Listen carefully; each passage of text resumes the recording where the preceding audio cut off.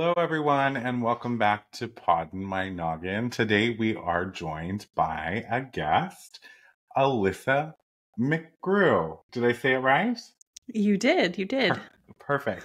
Well, thank you, Alyssa, for being here and being a guest on Poddin' My Noggin. Oh, you are so welcome. It's absolutely a privilege to be here. Wonderful.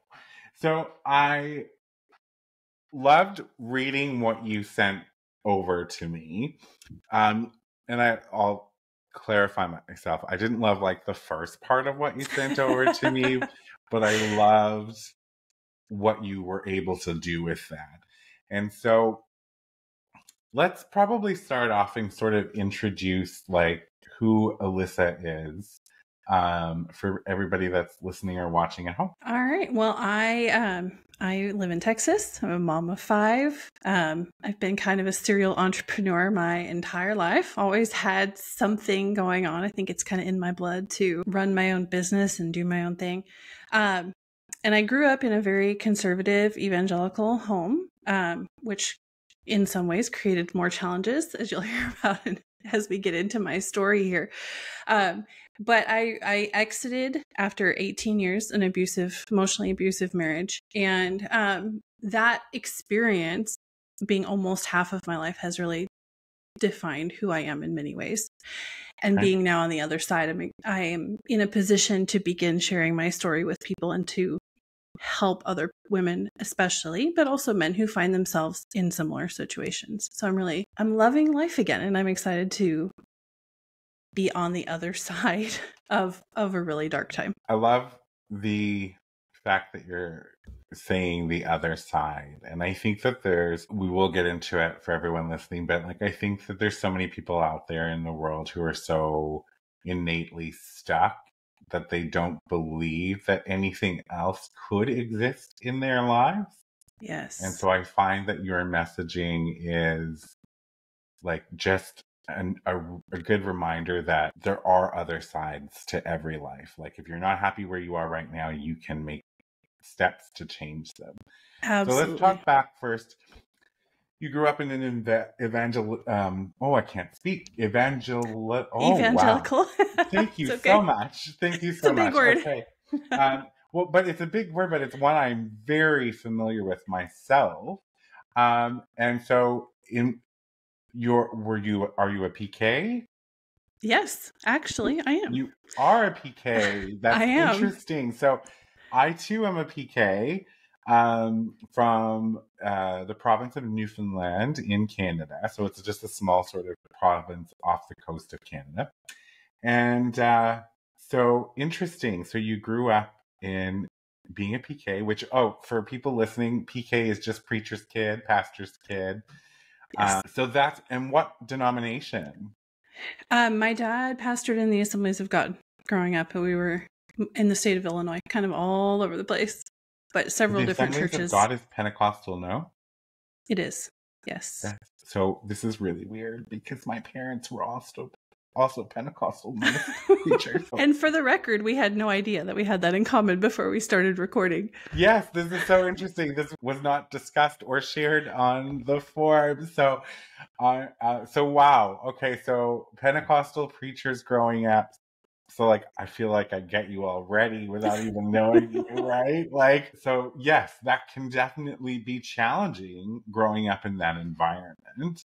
And how did was your so we're going to talk about your marriage and how did the Pentecostal faith play into you say meeting your husband and then the 18 years of staying with your husband? Oh, that's a great question. It it it played in in so many ways and many of them I'm just unpacking now being on the other side because when you're in that and you have certain beliefs, you don't even realize sometimes what beliefs you have or that there's an alternative mm-hmm. perspective mm-hmm. to those beliefs. So I grew up, um, I was in high school in the 1990s, right in the middle of purity culture and true love waits and I kissed dating goodbye and all of that. Um, and for anyone unfamiliar, just do a quick search for for purity culture, and you'll you'll you'll get a whole earful on what I'm talking about. But the primary teaching that I heard over and over through high school was that you can't trust your heart. Like your heart will lead you astray. You can't choose a spouse based on emotion. You have to choose a spouse based on the facts. And um, and as a teenage girl in these youth groups and at these um, conventions and conferences, and it, it, it was a whole thing. What was taught over and over again was to make a checklist of all of the things that you want in a future partner.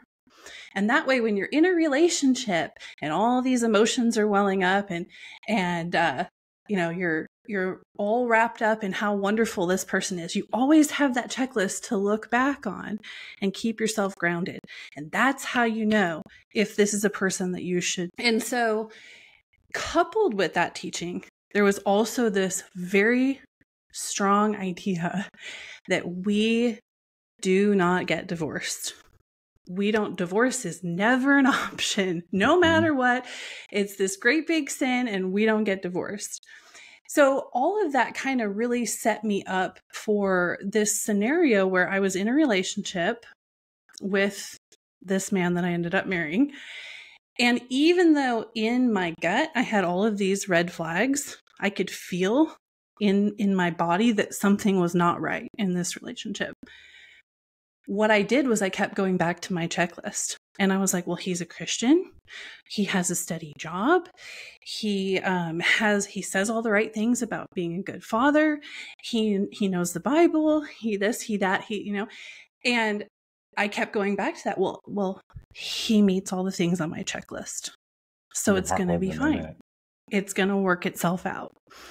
And with this teaching that you can't trust your heart, it led me to really override everything that my intuition was telling me, everything that those gut feelings were telling me, and just choose to overlook all that and focus on that checklist because that was what I had been taught was important. And so um, then when I got married and I started seeing what life was actually like, that teaching about we don't get divorced, divorce is a sin, divorce is never an option that kicked in and all of a sudden i'm in this situation where i just feel completely and utterly stuck. And so that like i said has taken years to kind of unravel of course. Of so like call out to anybody listening. The church probably didn't use the term partner. No. Yes. No they didn't. When you said it i had a little giggle because i'm like nope that wasn't used probably. Uh, but like you know, no, they said husband in my in my case. Yes, um, right. Um, and you know, so I find this slightly interesting too because the divorce, the divorce rule rings very true to me, like in in my upbringing. And now I was a, a dude growing up, so I don't, I don't recall any like lists that I had to make right? Mm-hmm. But I can't speak for women that were growing up in my church at that time, like if this was something encouraged for them or what. All I remember about that time is that we had to be so certain that this was the person. Because if you made those vows to that person, mm-hmm. that's it. Yeah. Right? Yeah. Like, now, question for you, because I, I want to ask you some other questions about like your intuition like what, before you got married but have you noticed since this time the assemblies of god have like slackened a little bit on their divorce i honestly i couldn't tell you um i haven't been to an assemblies of god church since i graduated high school fair. so i'm not really sure okay where they fair. stand on that in the paon which is the pentecostal Pentecostal Assemblies of Newfoundland and the Pentecostal Assemblies of Canada. The teaching that divorce is a sin has like lessened slightly. And this is the call out here is if someone's being abused or there are physical representations or um, adultery or things like that, then uh, a woman or a husband has the ability to be divorced. And where it still remains sticky is that some pastors won't marry divorced people. Mm. Right? Yeah. So it's like you could leave and you're forgiven because of the situation, but like if you want to go and like marry somebody else, like nope. Yeah, you're happen. still penalized for life. exactly. So I do know that with with the uh, the people that I'm directly connected to, there there's room there, and it's about your walk with God, really, that determines you know if you can get remarried as a divorcee. When you were dating this gentleman, you, using that word loosely, I think, um, dating this person, this man, and you said that you had gut feelings of red flags. Talk about that. Like what what was firing off for you? Well, some of it is kind of intangible. Like some of it was just that feeling. You know, uh, one of the things that my therapist said to me in, in this last, I don't know, year and a half that I've been uh, seeing her, she said, Your body sometimes knows things that your mind doesn't know. And in many in many ways I think that's what was happening back when we were dating. When I was with him, I didn't feel peaceful. I didn't feel relaxed. I didn't feel, I always felt on edge a little bit. And I mm-hmm. didn't have the language to understand that that was a big deal. Yeah. I just figured, well, we're dating and this is new and, you know, whatever. But I have since learned that, and especially in looking at other relationships in my life, most of the people in my life I feel very safe with. I feel very at peace with. I feel very calm when I'm with them. And in contrast to that, I never felt that way with him, but I didn't have the language to articulate that and to understand what was happening. But there were a few more real tangible things looking back that I was like, oh, one of them is that I never, ever, in 20 plus years of knowing him, have ever gotten a real apology for anything. And even back when we were dating, it was, I'm sorry you felt that way, or uh, I'm sorry if you didn't like that, or I'm like, all those pseudo apologies that people tend to give. And that should have been a much bigger red flag for me than it was. Because when you're in a dating relationship, if the other person can't take responsibility for their BS, huge problem. It's the accountability piece. Yes. Right? So it's like yes. you had an experience, but he's always then putting it back on you, saying that, you know, that was your perception of the experience, which in a weird way, and I, not to get wires crossed, this is true. Our perception is our experience versus another person's, but a mm-hmm. person has to be able to see their contribution. Right. Right. What were mm-hmm. their actions or words that even elicited your response to that? And right. so him not taking accountability. Yeah. yeah. It's subtle sometimes. There's a very fine line between I'm sorry if you felt that way mm-hmm. and I'm sorry my words hurt you. But those are really two different statements. They are very different statements because one's pointed and the other one's reflective. Exactly. So you had the gut feelings. You you didn't feel safe. And I think this is a really big call out, right? Like you're you're absolutely correct in I feel like we're also in the same age group, just as an FYI, just based on some of the things you said. I'm 42. You don't have to share your name, uh, your oh, age. We're, we're the same age. You're an 81 baby. I am. Yes. This is so interesting. Um, so I also want to now ask you: Are you a Cancer? I, you know what? I don't know. Honestly, I've never, I've never looked. I was born in June. Late June. 14th right in the middle. July 2nd. So we're like two weeks apart in age. Yeah, it's it. This is nuts. Um, so I'm really enjoying that. So for people listening at home and watching, one of my areas of focus with this show is feminism, right? And empower empowering women as well. If your gut is telling you something, you need to pause and listen. Yes. Because that absolutely. is your divine intuition. Mm-hmm. And I love that your therapist pointed out also that sometimes our gut knows things that our brains don't. And I did a podcast with a man named Billy Emery. And he was explaining the gut brain system because there's the gut Mhm. brain, your heart, and then your brain brain, right?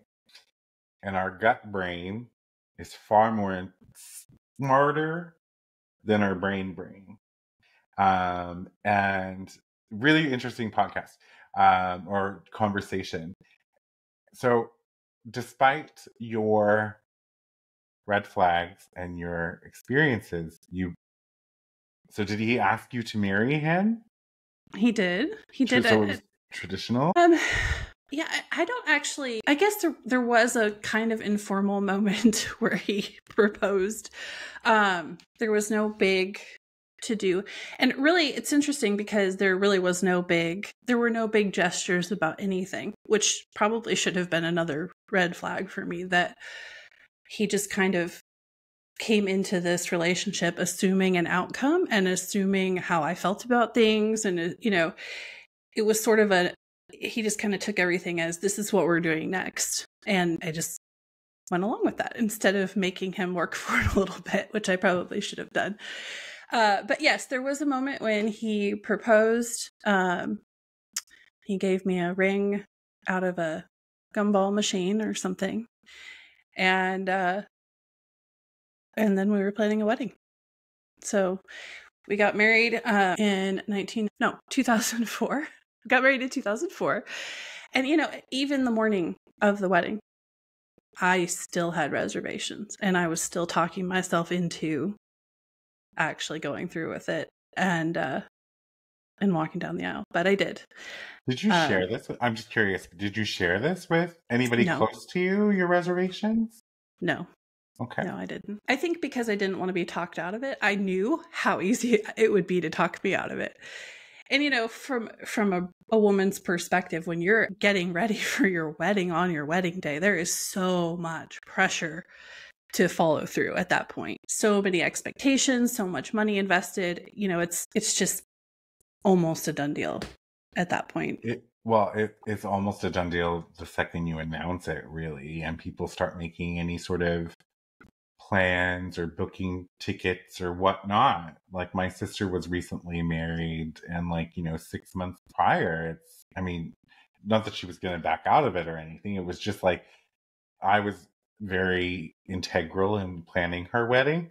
Uh, It Mhm. was one of those things like okay, we have all this people that book tickets from all over the country to come back to Newfoundland. Like, this is paid for, that's paid for. All like, if something were to happen and they were decide to say not proceed, like I had that thought. I'm like, oh, geez, like that would be like a lot to have to tell Yeah. people like this isn't happening. Sorry about the money that you've invested. So the pressures. I wasn't. I didn't get married. I'm single, but the pressure is immense. I can. I can agree with you there. That Well, isn't that the craziest thing though when you really break down what you're saying there? Because what you're really saying is the cost of someone else's plane ticket is more important than the rest of my life Mm-hmm. It, it or my the, my happiness for the next who knows how long. And I don't know why we do that, but we do that. I think a lot of it is cultural pressure, but Yeah. we we buy into that and and looking back on it i'm like that was the stupidest thing like i gave up two decades of my life because i didn't want to inconvenience other people and absolutely. man when i think about it that way now i'm like that was insane Insane, but I think like my gut reaction is to tell you to be kind to you, right? Different times, and you are out of it, and on the other side, as we've discussed. But like at that time, there's even not just the money spent and people coming and all that stuff, but like you're a young woman getting married. There's so many variables that are unseen, like levels Right. that you're not thinking about. People are also not thinking about. So, absolutely and we of- don't we don't know what we don't know right but i would just say to that woman who's in that situation and there's this wedding is looming and she feels like she can't get out of it i would say yes yes you can Oh, and it's it will be yeah. okay you know if if you are standing at the in the foyer getting ready to walk down that aisle and you have reservations pay attention it's not too late Absolutely. And I feel like if you're, if it's, because everyone gets a bit of cold feet, right? I think that that's a normal part of marriage because it is a lifelong commitment. I'm air quoting this, but like lifelong commitment. I think everyone gets married with the ideology that it's going to be a lifelong commitment. So to have nerves and cold feet like leading up to the wedding, I think that that's very normal. But if your intuition is telling you and screaming and and it's like you're you're shaking with like anticipation, there might be something there. And right. find your best friend, find someone you know is truly in your corner and tell them. Right? Yes. If mm-hmm. you're a couple weeks away from marriage and you've got your intuition, go go have a therapy session. Like talk right. about it. Like you need to have those conversations mm-hmm. so that you don't enter into that sort of situation with right. But yeah also no judgment there... if you do just just fyi no judgment if you do no judgment to you alyssa either it's right it's about i just yeah it's such an interesting topic so you got married mm-hmm. and then you started to and see i did yeah it was good for about four days everything okay. was fine the honeymoon um, was short, apparently. The, well, no, we were still on the honeymoon. Uh, the first four days were fine, and then we get to day five. We we had about I think it was a six six or seven day honeymoon. We get to day five, and we're sitting in a movie theater, waiting for a movie to start. And um, and he looks over at me and he says something like, you know, I just I can't remember his exact words, but he said something along the lines of, you know, I just I just really want you to know that I'm just really enjoying having sex with you more than anybody else that I've ever slept with. Well, this was a problem for me because um, he had only told he had told me that he had only ever slept with one person prior to being married. And for me, that was a hard enough thing for me to overcome. Like, I really didn't like the idea of marrying someone who had been with anyone else. So when he made that comment, I was like, wait, what do you mean? Like, you said just this one other person. I said, how many others have there been? And you got to understand, like, I was a virgin when I got married. I've been married for five days. And I believed when I got married that he had only been with one other person. And he starts counting on his fingers. And he says, he looks at me and he goes, I don't know, I can't really remember. There was a lot of vodka involved, but I think, I know it was over 10, maybe 12. I don't know. There was a lot of vodka involved. And I'll tell you what, like, talk about like my whole world coming crashing down around me because it wasn't so much the number. It wasn't even that he couldn't come up with a number. It was the fact that I had married him based on a belief and based on trusting him that he was telling me the truth about things that were very important to me, only to find out on day five of our marriage that that was not at all the case. And his response to me being so upset about that was, Well, I know I told you. You must have forgotten. And then begins the gaslighting because I can tell you something with absolute certainty there is not a woman on the planet who is going to forget that her fiance has slept with a number of women in the teens. Mm-hmm. Like, that's not something that we forget. And then the other component of it is the purity movement, right? And the how absolutely important and imperative in our religious upbringing is the abstinence and remain like just making sure that you're pure. Right for your yes, husband and... or vice versa because it's vice versa as well for all the yes. men that's listening it goes for you as well which clearly this man potentially lied to you about how much of a christian he was as well considering there was vodka and, and, and it just opens a whole it opens a whole can of worms doesn't it i mean yeah. because all of a sudden what else did he tell me that wasn't true right? He's not even admitting that he didn't tell me that in the first place.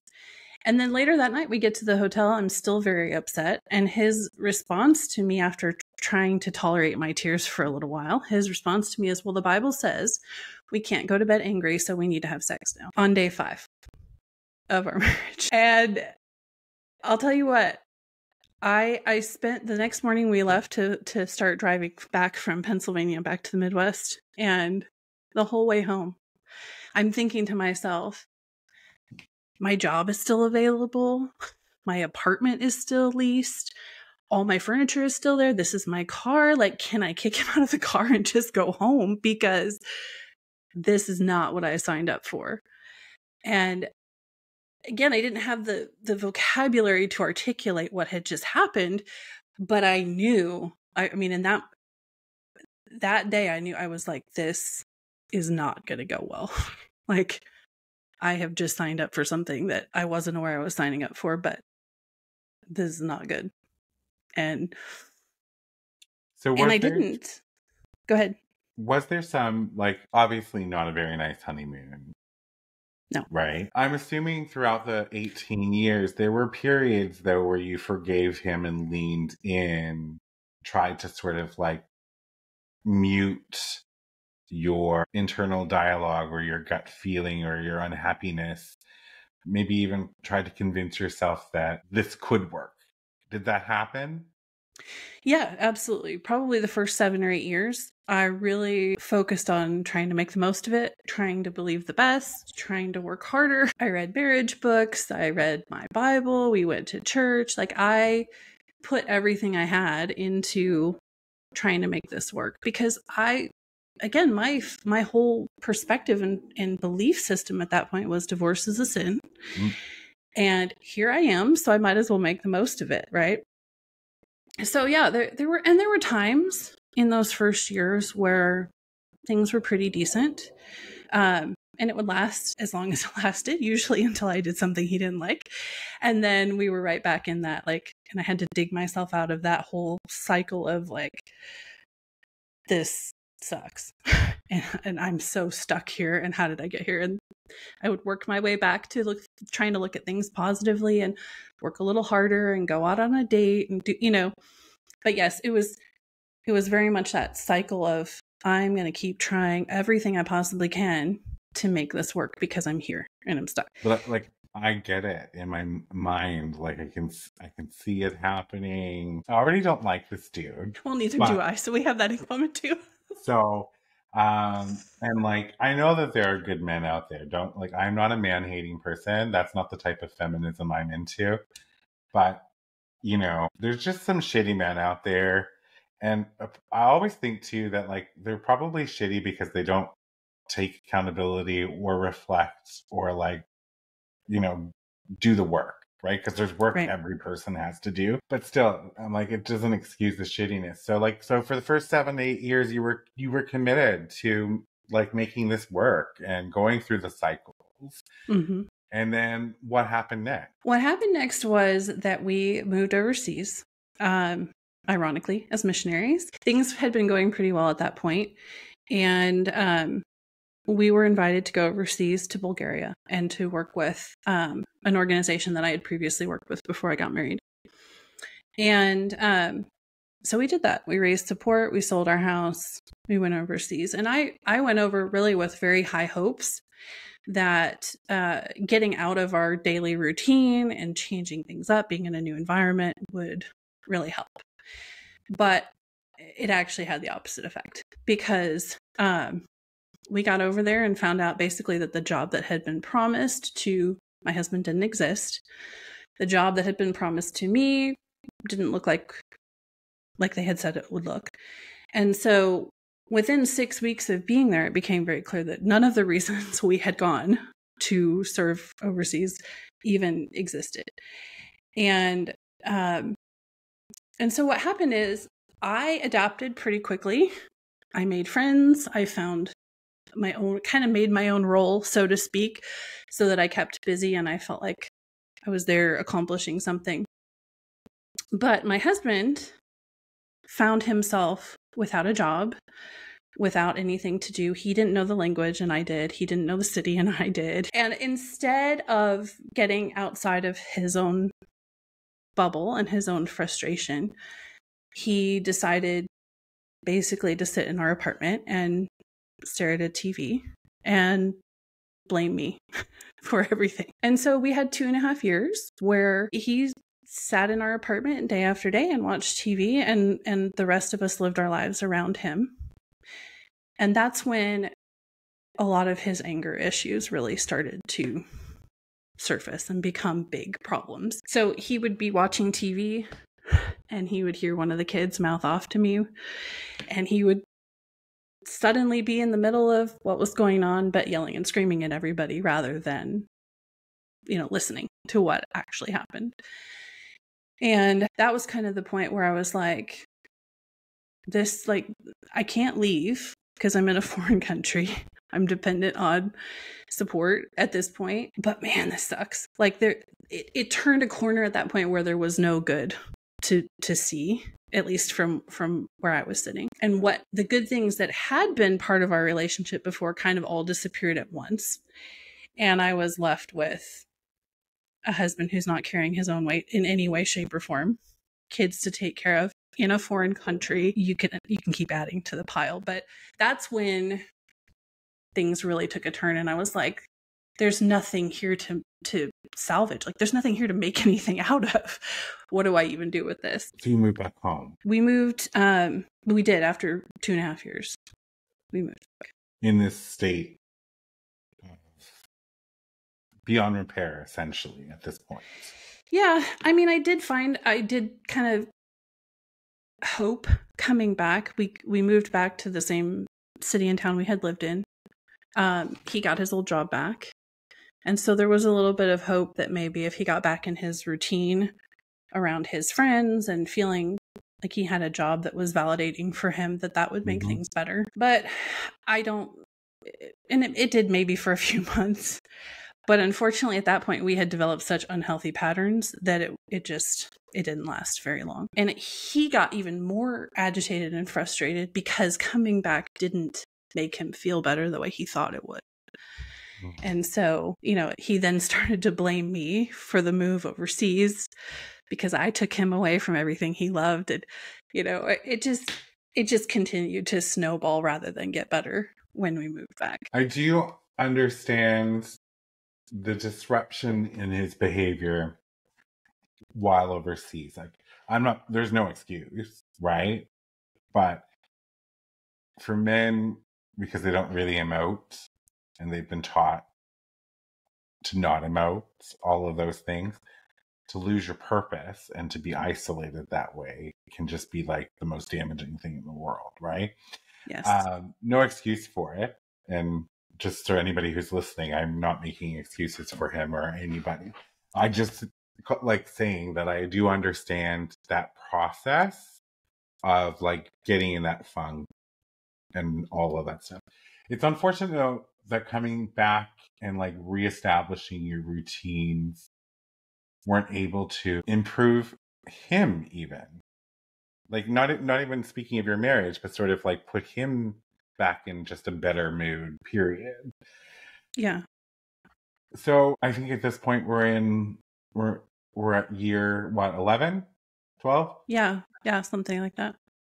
Yep we had baby number four shortly baby number three was born overseas Okay. And then baby number four was born about a year after we got back. So now we have four kids. Yes. And okay. we're in about year 11 or 12, something like that. when that? So we we stayed in Indiana for okay. um, about two years. And then what happened was eh, just in, eh, the family dynamic was starting to change because my oldest two kids were preteens. My oldest one became a teenager. And they really struggled with reentry coming back from overseas as well. They came back feeling like they were ready to just jump back into their old lives, but all of their friends had moved on. Mm-hmm. And and so they which is normal and natural, like that's that's how it works. And they had changed more than they realized they had changed. And so but both of them really had trouble finding new circles of friends and feeling like they fit in and the area where we lived was rural and there was not a lot of there were not a lot of opportunities for them to get involved in activities and and extracurricular kind of things. So um partially out of it in an attempt to shake things up again and try to revitalize my marriage but also to do what was best for my kids i suggested to my husband one day that we moved to Texas. And um, and the reason that I gave him was really for the kids, um, because we we homeschooled, and in Texas, there ten percent of the population here homeschools. It's a very large homeschool community. And his response to me that day on the phone was, "Absolutely not. No way. I got my job back. I'm I like it here. Like no, no way." So I just said, "Okay, all right. Well, just think about it, you know, because I knew at this point there was no no point in, in arguing with him about it." And I kid you not, 3 days later, 3 days. His he had um he had just had a change in his boss. Um they had just shifted around and he had a different boss. 3 days later, his boss calls him into his office and completely rips him a new one about something that actually wasn't his fault and puts him on probation at work again for something that really wasn't his fault. And uh, he called me up and he said, So I, uh, within six weeks, I had lined up six interviews for him all in the same week. We came down, he did all the interviews. He was offered two different jobs. He picked one, and 30 days later, we were we were living in Texas. And he got what he thought was his dream job. Like out of all the interviews I had lined up for him, there was one that he was really excited about. He landed that job and and uh, so he was really excited initially about moving here. Uh, but then the dream job became the nightmare job. And for the next three years, he was in a job that he absolutely hated. And he would come home and take it out on his family. And again, it was my fault. Like I had talked him into moving and you know, it's just, you know, going all the way back to that story I told you about our honeymoon where he didn't take responsibility. And that really was the pattern through our whole marriage. Like every single thing to this day goes wrong is my fault. But he was miserable in this job for three years. Why didn't he try and find a different one? I think because he felt like he couldn't find one that paid as well. You know, he did get a significant pay raise coming coming down here. And I honestly think he just didn't have the confidence to put himself out there and go find something else. And I tried to tell him, I was like, look, you know, if you have to take a little bit of a pay cut, we're going to be fine. Like, go find a job that makes you happy. Um, but in his defense, I guess a little bit, I think he was a little stuck in his own Mm-hmm. rut at that point. Sometimes we just, being miserable gives us an excuse. Like, if I think he was miserable in his job and that gave him a, an excuse or a, a justification for his behavior and for why he was so miserable. He could blame it all on the job, and that meant it wasn't his fault. He didn't have to do any internal examination of what was really going on inside of him because he could blame it all on the job. It was all external. It was all external. Exactly. So, what was the final nail? Um well, there were several things. Um okay. in that time when he had that job where he was so miserable and he did end up getting another job um, after three years, which he still has to this day and, and loves. Um, but he started to say things to me that were big enough problems that I actually had to acknowledge the fact that this is not okay. Um, one of them was he he said to me one day, he's like, you know, when I'm when you when you reject my advances and you don't want to have sex with me. I go to work the next morning and I and I think about driving my car off a bridge because that's how it makes me feel. And so he got to the place where what he was saying to me, I could no longer ignore. Like even for even for me, that kind of statement where if you don't want to have sex, I think about killing myself, that got my attention because that's it's big, right? It's not there's no subtlety to that. And I started getting to a place where I had to like really start going, "Whoa, wait a minute. Like maybe I need to stop justifying this. Like maybe this isn't my fault. Maybe this really is not just a difficult relationship." Um, and I was listening to the radio one day. This is about two and a half years ago now. Um, this whole process of waking up and realizing what was really going on took me several years. It was not an overnight realization mm-hmm. for me. But I was driving one day and I was listening to the radio, and um, my usual station was off the air for some inexplicable reason. And I was kind of scanning through. And I came across this woman who was talking about her marriage and uh, the challenges in her marriage. And it caught my attention because it was so similar to my situation. And I'm listening, and she gets to the end of the interview and she says something about realizing that her marriage was abusive. And I went, wait, what? like, mm. I had never, ever considered that my marriage landed in that territory. But that really stuck with me because I couldn't get it out of my head. Like for months, I'm like, is this? No, no, no, it's not that bad. And so finally, I made an appointment to see um, a counselor, a therapist. And I actually drove out of state to make this appointment to see this therapist because I did not want my husband to know that I was doing this because I knew there would be consequences, repercussions for me if he thought that I was sharing our problems with anybody. So I sit down with this therapist and I'm telling her my story. And I'm about, I don't know, 20 or 30 minutes into the appointment. And she says to me almost the first thing she said in the entire conversation. She said, I want you to promise me something. And I'm like, what? She said, promise me that when you leave my office, your next call is going to be to the domestic violence shelter because they need to know who you are and you need to know who they are. And I was like, absolutely not. Like, he's never hit me. My marriage doesn't qualify. She's like, Alyssa, yes, it does. And I was like, no, no, it doesn't.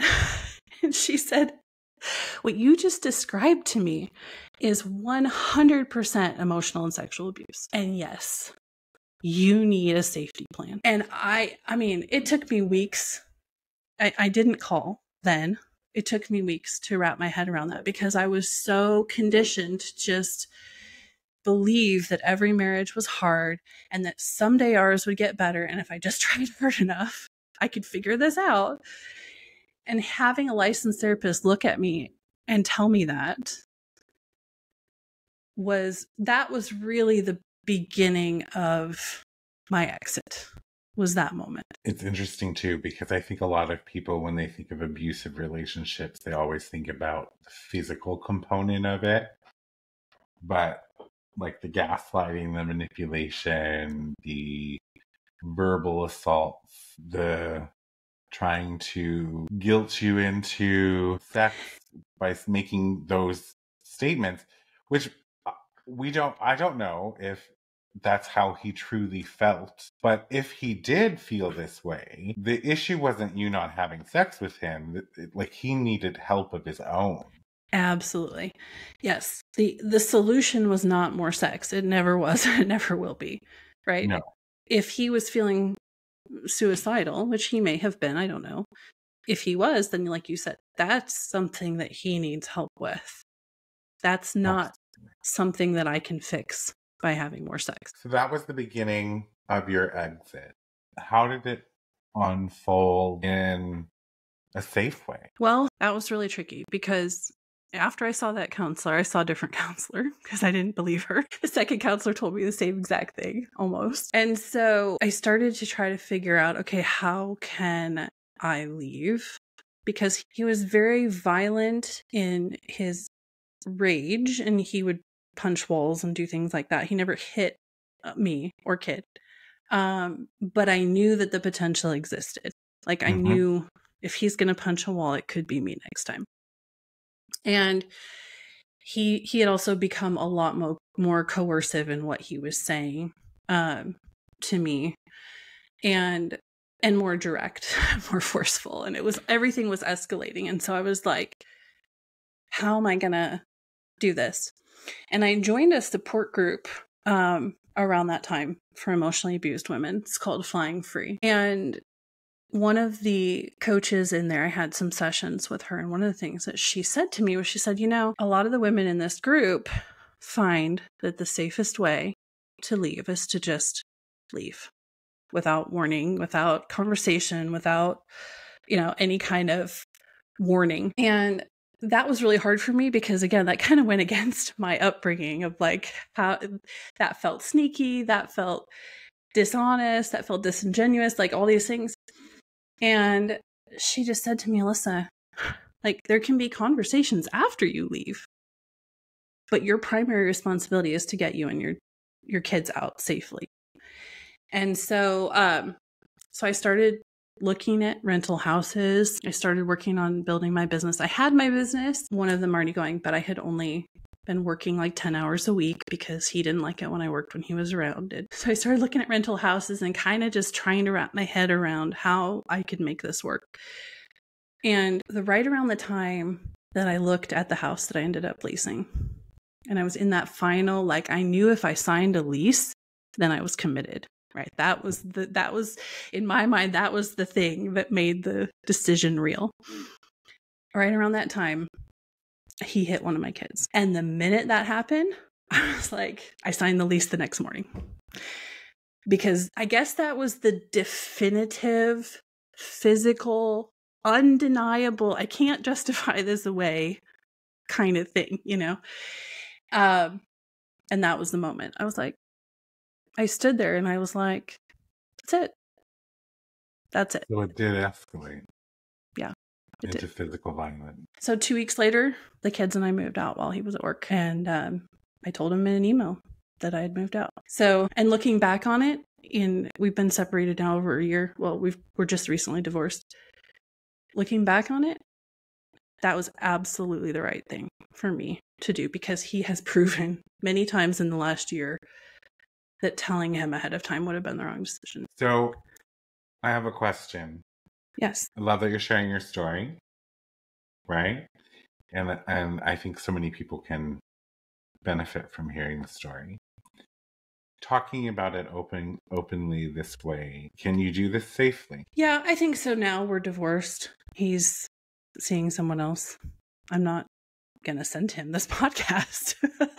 but I also uh there's now enough distance and enough legal separation and enough boundaries. I've done a lot of work in the last year really establishing boundaries. I've I was not good in our marriage about establishing my own boundaries and sticking to them and enforcing them because there were consequences mm-hmm. uh, when I was married. But now I've gotten a lot better about that. And um, so, yes, I think now I can. And I'm not I'm not going to put his name out there. I'm not going to put my kid's name out there, names out there. Yeah. Uh, so I always think about those things, right? You know, we're talking about this when we talk about it. Women need to be able to talk about it. They they they have to be able to hear these stories. And my mind always goes to safety. Yeah. Like if this person was to happen on this particular podcast, see it are you and your family going to be safe? Would they take any steps to retaliate or any of that sort of thing? So that's where my concern comes from. That's all. I want to. So it sounds though to me, even after you left, you made you just made the comment that you know over the last year he's exemplified why you made the right decision of just moving and leaving the email. Mm-hmm. So it doesn't sound like he's taken any steps to admit his part in this downward spiral of a marriage or no. the the emotional abuse or even the physical component of hitting one of the children. Um and that's unfortunate for him. Not yeah. for you because at this point i mean i think it's unfortunate for the kids as well. Yes. Right? Yeah. Uh, but you've started you have left, you've created those boundaries, you're in a safe space, and you know the air date. Mm-hmm. So if you change your mind about this podcast, you can change your mind. I'm letting you know that because your safety okay. is more important than. Anything. Oh, I appreciate that, but I, I think you're good. good. You know yeah. better. I'm not the expert in your life, so I just want to make sure that you understand that it's there. Yes. Well, and, you know, the, the ironic thing is now that I'm have left. Yeah. There's all this extra accountability for him because when we were married and everything that happened was in the privacy of our home and I was never going to say anything because there would be such big consequences if I did. Mm-hmm. Now, one, he knows that I don't have any consequences. for telling the truth anymore. There's nothing left that he can do to me to keep me in line because I'm not under his control anymore. And also, when it comes to the kids, we now have court documents. We now have guardian ad litems. We now have all of these other people involved now, where if he steps out of line, there are big consequences that don't come from me. And so, uh, or that would give me leverage to take away his time with the kids or things that he does not want. So there are away. immediate repercussions for him. yes. And it's good. very important to him. His reputation is very important to him. He's he's keeps he keeps saying to me over and over again, like, I was this exemplary husband and I did all these things and I'm a good guy and you're never gonna find somebody as good as me and I don't know what you thought you were gonna accomplish by leaving me, right?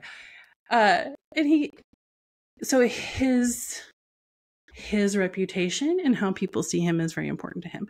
And so he's very cautious about doing anything that might change how people see him. And that makes me happy. Being cognizant of time, what's your message to well before we I ask you that, there was one one piece of your form when you filled it out that really got my attention. And I want to read it. So you said, where is it? Now I am healing and thriving and dancing in the kitchen. Yes. There was a moment, I think it was about three months after I moved out, where I was in the kitchen making dinner and I'd put on music and my kids were in there. And we all just started having this dance party. And it hit me. That was the kind of thing that never happened in our home because I was tension. too stressed, because everybody was worried about what would happen when dad walked in, because of all these things. And that was the moment when I was can see the light at the end of the tunnel. I can see that we've turned a corner, right? And joy is coming back into our lives. And not just mine, but my kids. Like I can't even tell you how many people have commented on the change in my kids in the last year. Like, well, I can only imagine how freeing it is for them to not be sort of policed. Yeah. Or having to be so mindful of like the, the, any everything around someone who could be set off so easily. Exactly. Right? Yes. Um I love that. I don't love that you had to experience 18 years of that. 20 really, if we think about the pre-marriage part of it um, for people listening, trust your gut. Absolutely. And even if you're not sure if you can trust your gut, at least book a therapy session, have a conversation with a confidant, like talk about it because it's really important. Um, get help. Your the th- the first therapist and the second therapist was very right. Mm-hmm. If there is abuse, physical or not, reach out get a safety plan.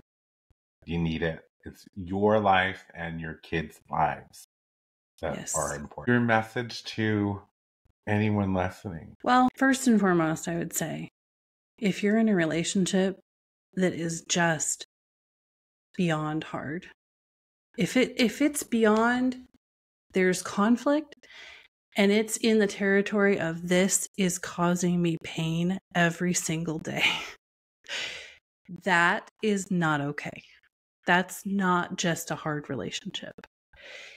And it's so easy, especially I think for women, to get in this mindset of it's my job to make this work mm. and I can make this better somehow. But I would say to women, if you're in that situation where your relationship is causing you pain every day, that is not okay. And that is not something that you can fix all on your own. When I see women for coaching, I've recently started a, a coaching practice to to coach women through difficult relationships. And what I like to say to them is if you feel unsafe, unseen, and unheard, do something about it. If you're unsafe, you're unseen, or you're unheard, that's not just a challenging relationship. Like a challenging relationship is we need to learn some better ways of communicating right uh-huh. or or we need to learn how to make up and repair when we have a fight but being unsafe unseen or unheard is a completely different thing So find some help, find a coach, find a therapist. Start with a best friend if that's the only place that you can start. Um, and the other thing is from the other side of things, from from the person who is watching a relationship, maybe it's your best friend or your family member, and you you have questions or concerns about their relationship. You know, since I left, I've had so many people say to me, some of my best friends have said to me, I really just had these concerns back 10 years ago. And I, I don't know why I never said anything to you. and that has floored me because I, I didn't realize that anybody was seeing anything but they didn't say anything to me because they didn't want to offend me mm-hmm. or they mm-hmm. didn't want to cause problems in my relationship. And so, if you are that person, I would say to you, find a way to reach out to that person and say something. And maybe say something that doesn't require a response. Mm-hmm. Like if if any of those friends had said to me, you know, this and this happened and it kind of raised some red flags for me and I just wanted you to know that I saw that. And it wasn't okay. Right? What that would have said to me without requiring any response from me is if I need to talk, this is a safe person who's going to listen, who's going to believe me about what's really going on. Mm-hmm. So say something. And it doesn't have to be confrontational. It doesn't have to be, hey, I think you're in an abusive relationship, right? Don't do that. They may not be ready to hear that. But say something and let them know. I love that too because I think if someone and I like the way you said to line it up in like a way that they don't need to respond. It's when someone's in an abusive relationship for a long period of time, the abuser will do things to try and isolate and convince them that they're the problem or that it's all in their head. So by someone externally recognizing a something that might have happened that didn't feel right, didn't sit well, and sort of just kind of bringing it up in a non confrontational way, in a gentle way, is going to take them out of their head and be like, oh, you saw that? I thought mm. that was just me. Right. And just like you said, it, it gives you the opportunity, that person who's ever in the abused relationship, the opportunity to recognize that this person's a safe space. Exactly. Because a lot of times when you're in these, for me, when I was in this relationship, I didn't feel like anybody was safe because I didn't know how they would respond, how they mm. would react. You know, most people looking at my marriage from the outside thought we had a great relationship, thought mm-hmm. everything was fine. And so, and I didn't know any different. I didn't know that anybody had seen red flags because no, nobody told me. And I think it would have helped me to open up a lot sooner if someone had shown me that they were going to be that safe person. The great message. If you're out there and any of this resonates with you, or you recognize any of this in your relationship, reach out to someone and have a conversation. Uh, a therapist is always a safe space, but if it can't be a therapist, find someone yes. and get a safety plan if you need one your lives and your livelihood and your health are far more important than any single relationship. So make sure you take care of yourself. Thank you so much, Alyssa, for being on the show and talking about this. It's an uncomfortable topic to talk about, but it is one that needs to be spoken about often so that people can recognize signs and know that there is another side. Um, yes. Everyone yes. at home, go ahead. Oh, I was just going to say, and my hope is that just like I was listening to that woman tell her story on the radio and it got my attention and changed my life, that this podcast will do that for someone the same way. So thank you so very too. much for for having me. It was really a privilege. Oh, the privilege was all mine. Um, thank you again for coming on, and to everyone at home. All tune. Remember to tune in next week and be safe out there. All right. Until next time.